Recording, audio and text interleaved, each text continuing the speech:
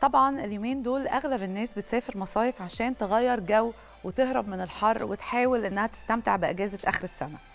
المشكلة إن إحنا لقينا إن ناس كتير جدا على ال social media بيشتكوا من موضوع مهم جدا بالنسبة لطبعا أمهات كتير. الموضوع ده هو شنطة السفر أو ناخد إيه معانا وإحنا مسافرين سواء لينا أو لاولادنا على اختلاف طبعا أعمارهم. وخصوصا إن في أمهات كتير بتغلط غلطة كبيرة جدا وهي إنها بتاخد حاجات كتيرة جدا معاها ملهاش أي لازمة. وطبعا الحاجات دي بتعمل زحمة ولخمة على الفاضي وخصوصا أغلب سفريات المصايف بتكون من أربع أيام آه فاغلب الناس يعني بيحسوا إن الموضوع أيام قليلة جدا وحاجات كتيرة جدا. وفي نفس الوقت بننسى إن في حاجات الأم ممكن تكون مهتمة بيها ومحتاجاها وبتنسى إن هي تاخدها. عشان كده هيكون معانا دلوقتي على ال Zoom نهى لويس متخصصة في محتوى الأمهات على ال social media عشان تكلمنا عن الأخطاء اللي بنقع فيها وإحنا مسافرين وعن الحاجات المهمة اللي لازم تكون معانا في شنطة سفرنا. إزيك يا نهى ريهام إزيك؟ عاملة إيه؟ الحمد لله كله كويس. إزاي نتخلص من العادة بتاعتنا تقريبا كلنا إن إحنا بنملى الشنط وإحنا رايحين نصيف بحاجات كتيرة ممكن يكون ملهاش يعني أي نوع من أي لازمة. بصي هو الموضوع فعلا بالأطفال بيبقى صعب شوية خصوصا إن هم على طول بيوسخوا لبسهم وبيبهدلوا الدنيا وكده بس يعني الموضوع محتاج شوية حسبة بسيطة. مش هينفع نلم كل حاجة في البيت وخلاص احتياطي. يعني لو إحنا مثلا مسافرين خمس أيام والطفل بيلبس لبس الصبح ولبس بالليل خلاص هنضرب الخمسة في اتنين وناخد مثلا ثلاث أربع قطع احتياطي. فاهمة قصدي؟ فالموضوع محتاج شوية حسبة مش يبقى سبهللة كده نلم كراكيب كتير في الشنطة وخلاص. طبعا على حسب سن البيبي على حسب بيوسخ هدومه قد إيه بيستهلك هدوم قد إيه.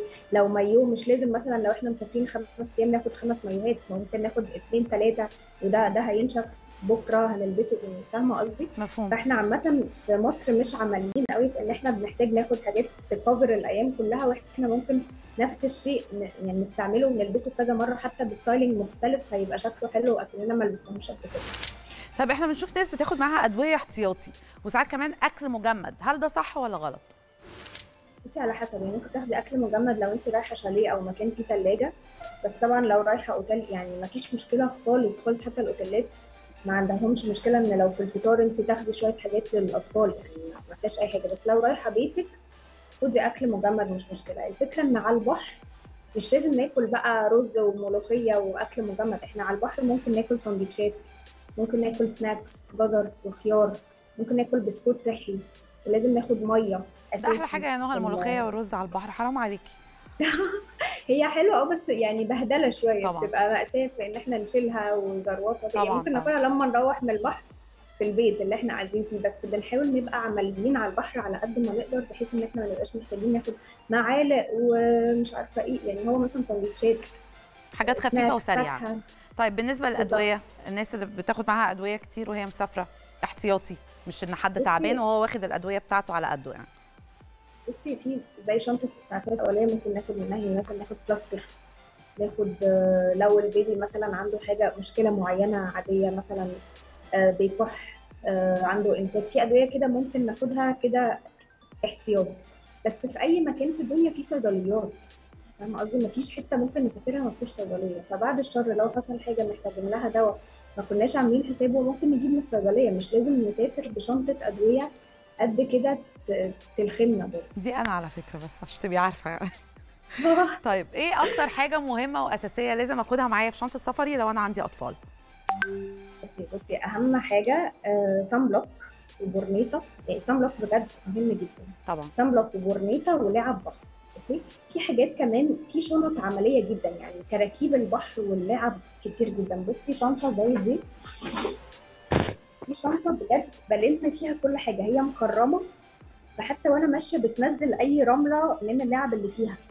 فاهمه حتى العوامة بحطها جواها. تنظيف ذاتي. تنظيف ذاتي ده يا نهى.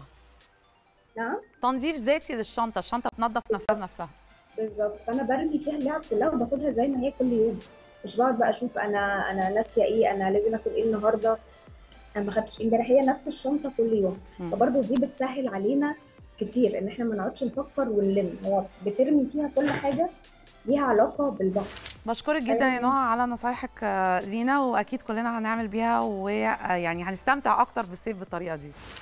ميرسي يا عايزه أقول لكم بس نصيحة أخيرة برضو بتفرق قوي. لو نقدر نحمي العيال في نفس الدش بتاع البحر أو البول اللي إحنا فيه بحيث إن إحنا نشطفهم من مية البحر وفي نفس الوقت بشامبو ونرجع بيهم مستحميين ده برضو هيوفر يعني هيبقى إنجاز فظيع إن إحنا هنوفر تعب قوي لما نروح البيت هنحميهم كلهم إزاي وكده. بشكرك جدا يا نهى على وجودك معانا النهارده. ميرسي خالص وبكده تكون خلصت فقرة سكوب.